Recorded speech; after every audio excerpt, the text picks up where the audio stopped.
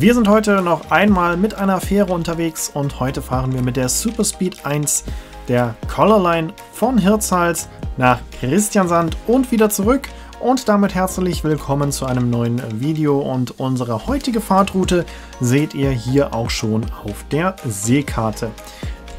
Da ich nicht an Bord übernachtet habe, wird es also nur ein Video geben über dieses Schiff. In diesem Video haben wir also den Rundgang und die Fahrt gemeinsam drauf und wir starten hier in Hirtshals. Hier bin ich ja am Morgen mit der Starwanger Fjord, der Fjordline, angekommen und wollte dann eigentlich auch nur eine Tour mit der Superspeed 1 fahren. Allerdings wurde meine andere Fahrt kurzfristig abgesagt und bevor ich gar nicht fahre, habe ich mich dann dazu entschieden, beide Strecken mit der Superspeed 1 zu fahren. Eben habt ihr im Hintergrund schon ein anderes Schiff gesehen, das ist die Vasco da Gama, die ich euch ja vor einiger Zeit schon mal vorgestellt habe, die hier im Hintergrund vorbeigefahren ist. Und hier seht ihr jetzt auch schon die Superspeed 1 bei der Einfahrt in den Hafen von Hirtshals. Die Superspeed 1 ist 211 Meter lang, 25,8 Meter breit, mit 36.822 BRZ vermessen, kann bis zu 27 Knoten schnell fahren und bis zu 2315 Passagiere befördern und sie wird eben von der Colorline hier auf der Route zwischen Hirtshals und Christiansand, also zwischen Dänemark und Norwegen, eingesetzt. Diese Route wird parallel auch von der Fjordline bedient, zumindest in den Sommermonaten von der Fjord Faster, einem Katamaran, der diese Strecke dann noch etwas schneller bewältigen kann als diese ebenfalls sehr schnellen Fähren hier, die allerdings klassische Einrumpffähren sind. Ich rede in der Mehrzahl, denn es gibt auch noch die Superspeed 2, die dann auch hier von Hirtshals aus fährt, allerdings dann einen anderen Hafen in Norwegen anläuft. Wir gehen jetzt erstmal an Bord der Superspeed 1 und starten erstmal mit einem kleinen Schiffsrundgang. Und hier kommen wir an Bord direkt im Atrium. Hier, hier haben wir einen Sitzbereich. Der ganze Bereich hier eben offen über zwei Decks. Hier haben wir einmal das Deli hier kann man Lebensmittel kaufen, hauptsächlich eben lokale Produkte, Fleisch, Fisch und ähnliches. Tiefgefroren kann man hier kaufen. Weitere Sitzmöglichkeiten haben wir hier und auch hier einen kleinen Arcade Game Room, wo man eben diese Arcade Games spielen kann. Und wir gehen jetzt eben erstmal weiter und kommen jetzt hier zum Tax-Free Market, also dem Duty-Free Store an Bord, wo ihr eben verschiedenste Souvenirs kaufen könnt. Parfüm, Schmuck, Alkohol und ähnliches. All das kann man hier eben erwerben.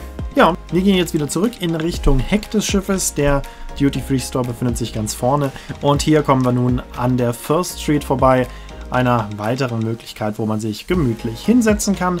Und haben dann hier ganz am Heck des Schiffes nochmal eine große Lounge mit viel Fensterflächen und eigener Bar wo man sich dann gemütlich hinsetzen kann. Ja, hier seht ihr auch schon so das typische Design der 2008 gebauten Fähre. Erinnert so ein bisschen 70er Jahresstil, diese Sessel hier. Ansonsten die Fähre eben eher modern gehalten, aber eben so ein paar 70er Jahre Einflüsse. Das ist so das Designbild der Fähre.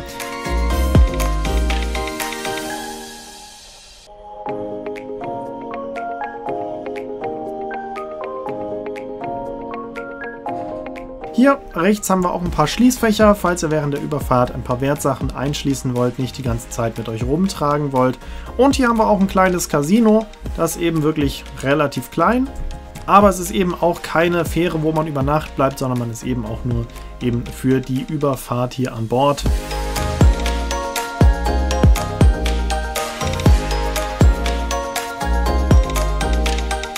Hier haben wir die Rezeption mit einem kleinen Shop nebenbei, wo man eben Souvenirs und Dinge des alltäglichen Bedarfs kaufen kann. Und dann sind wir auch schon wieder zurück im Atrium und haben somit das erste Deck schon komplett gesehen und gehen deswegen jetzt ein Deck höher auf das nächste Passagierdeck.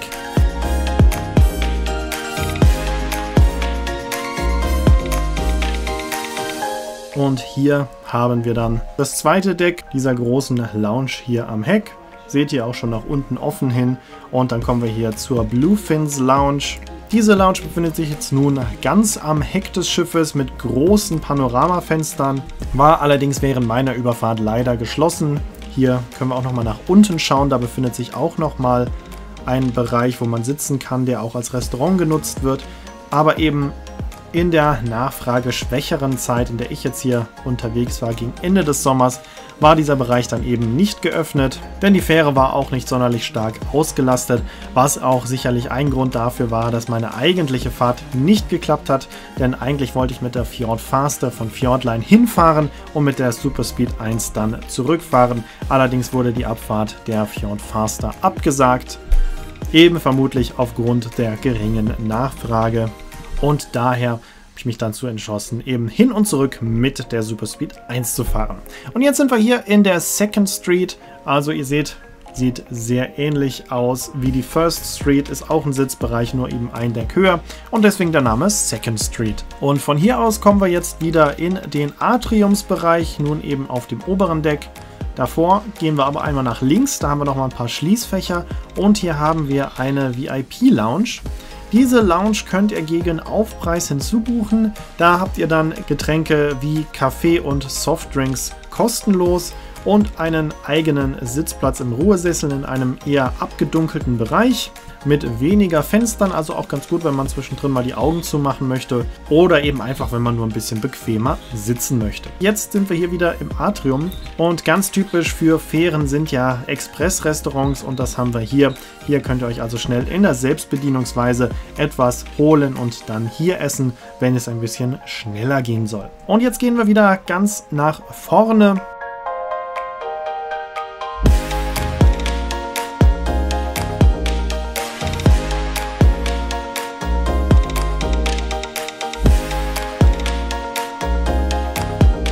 Und hier haben wir jetzt das Catch Me If You Can. Das ist dann das Hauptrestaurant an Bord. Hier könnt ihr also in Buffetform Frühstück, Mittagessen, Abendessen bekommen. Kann man auch vor der Reise schon hinzubuchen. Und dann kann man eben hier mit inkludierten Getränken in Ruhe etwas essen und das Ganze eben vom Buffet. Wie die Auswahl so aussieht, das zeige ich euch dann später noch im Video. Jetzt schauen wir uns erstmal noch die Außendecks an. Davon gibt es auch einige hier an Bord. Ihr seht auch schon mit ein paar Sitzmöglichkeiten hier auf dem oberen Außendeck und wir schauen mal runter und sehen hier ganz am Heck hinter der Bluefins Lounge, da ist auch nochmal ein Außendeck mit ausreichend Sitzmöglichkeiten. Und dann haben wir seitlich natürlich auch noch eine Promenade auch hier könnt ihr euch natürlich aufhalten. Das heißt, bei schönem Wetter hat man hier auch viele Möglichkeiten, die Überfahrt draußen an der frischen Luft zu verbringen. Und jetzt gehen wir hier wieder einmal runter, schauen uns noch die Promenade unten an, die auch sehr, sehr großflächig ist. Und dann gehen wir noch einmal ganz nach hinten zu dem Bereich, den wir gerade schon einmal von oben gesehen haben.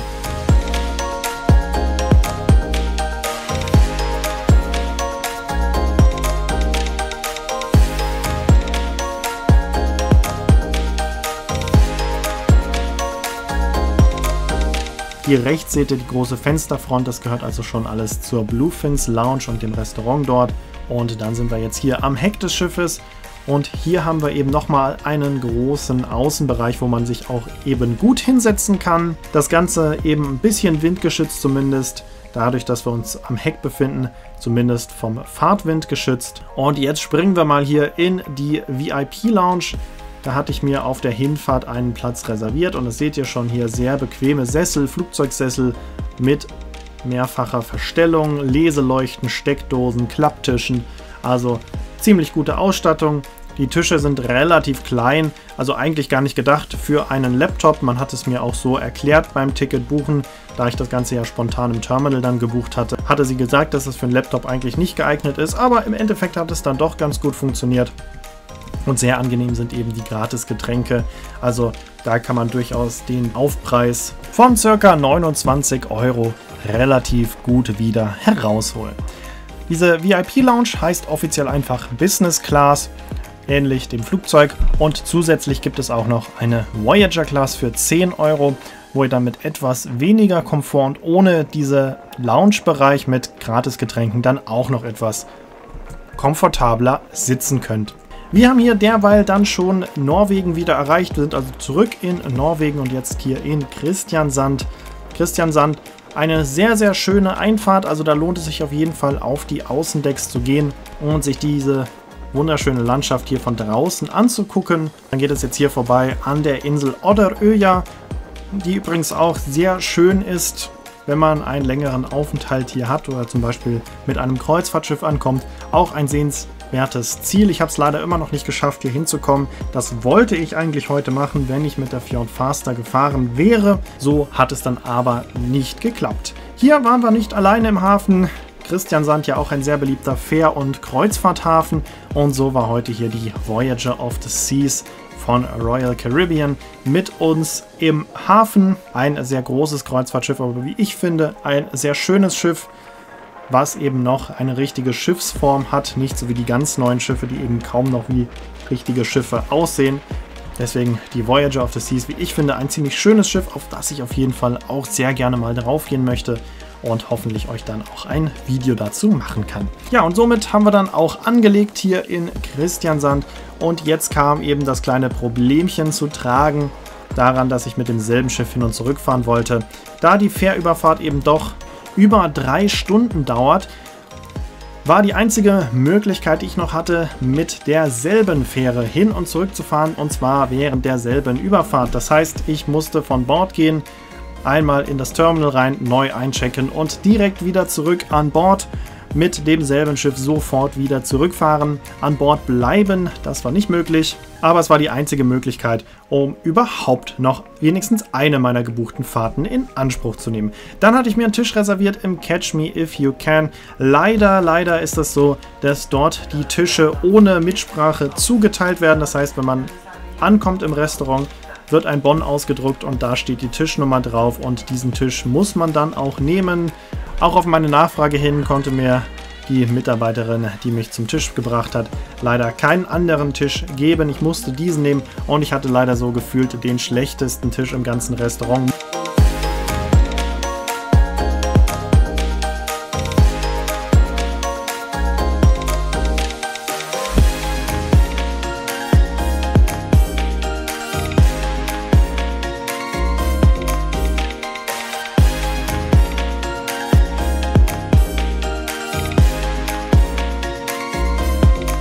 Weit weg vom Fenster, mitten im Gang, also links der Gang, rechts einfach nur eine Wand. Da war also quasi unmöglich überhaupt etwas zu sehen. Das, was ihr jetzt hier seht, ist bei vollem Zoom der Blick zum nächsten Fenster hin. Und das hier wäre jetzt der Ausblick gewesen, wenn man einen Tisch ganz vorne bekommen hätte. Da ist es also wirklich toll zu sitzen, aber leider scheint man hier kein, keine Möglichkeit zu haben, Einfluss zu nehmen. Eventuell ist es möglich, wenn man direkt beim Reinkommen fragt, wenn man seine Buchungsbestätigung abgibt. Vielleicht kann man das da noch beeinflussen. Hier seht ihr derweil die Fjord Faster, die eben jetzt nur eine statt zwei Überfahrten gemacht hat. Auf diese Fahrt wurde ich auch umgebucht, aber ihr seht ja, das hat nicht geklappt, denn ich befinde mich jetzt auf meiner regulär gebuchten Rückfahrt. Das heißt, meine Hin- und Rückfahrt hätten zeitgleich stattgefunden, das ist natürlich nicht möglich und daher konnte ich leider nicht mit der Fjord Faster fahren. Und noch ein letztes Wort zum Catch Me If You Can. Also die Sitzplatzvergabe leider nicht ganz optimal, aber sicherlich notwendig, wenn das Schiff eben voll ist. Für mich jetzt leider sehr unglücklich gelaufen, dass ich da nicht rausgucken konnte.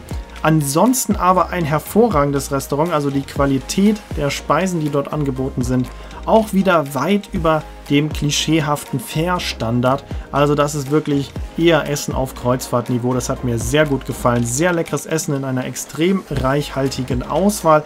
Also das kann ich euch schon auf jeden Fall empfehlen. Für circa 25 Euro könnt ihr euch einen Platz dort reservieren also sprich eine Mahlzeit bekommen inklusive Reservierung und Getränke sind auch mit dabei. Also auf einer dreistündigen Überfahrt lohnt sich das natürlich auch. Dieser Platz ist dann auch für die gesamte Überfahrt für euch reserviert. Also auch das kann ich euch auf jeden Fall empfehlen. Wenn ihr jetzt keinen Wert legt auf einen ruhigen Sitzplatz, wie es eben in der Business Class der Fall ist, dann lohnt sich also das Catch Me If You Can auch nochmal deutlich mehr als die Business Class. Und wir sind dann derweil auch schon wieder zurück in Hirtshals in Dänemark angekommen. Hier war mittlerweile auch die Stavanger Fjord zurück aus Langesund, mit der ich ja morgen hier angekommen bin. Und wir sind dann auch wieder eingelaufen am Colorline Terminal. Dieses befindet sich deutlich zentraler als das Terminal der Fjordline. Das heißt, von hier aus kommt man dann auch zu Fuß deutlich besser wieder zurück zu meinem Hotel im Vergleich zum Fjordline Terminal. Und für mich ging es dann eben zurück in mein Hotel, das Skaga Hotel. Dort hatte ich morgens meinen Koffer schon abgegeben, damit ich den jetzt hier nicht noch mit die ganze Zeit hin und her transportieren musste. Und dann geht es jetzt hier erstmal wieder von Bord und das Terminal hat eine sehr lange Verbindungsbrücke direkt zum Beispiel zum Bahnhof von Hirtshals. Also ihr kommt von der Collarline fast komplett trockenen Fußes bis zum Bahnhof und man kann eben auch etwas früher diese Brücke verlassen und ist dann auch mitten in der Stadt. Und so war ich innerhalb von wenigen Minuten auch an meinem Hotel angekommen und dort hatte ich dann dieses riesengroße Zimmer bekommen für eine Nacht und morgen geht es dann hier in Hirtshals weiter, dann mal wieder mit der Bahn.